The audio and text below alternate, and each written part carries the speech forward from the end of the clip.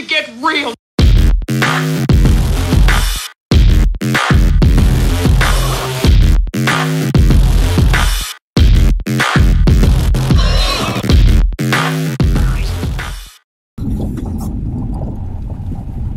Après, c'est une vidéo, faut dire des trucs un peu stylés, tu vois. Ouais. Euh, ah, puis grosse. Là, c'est encore le niveau de débutant de Need for Speed. On va repasser un peu cap supérieur.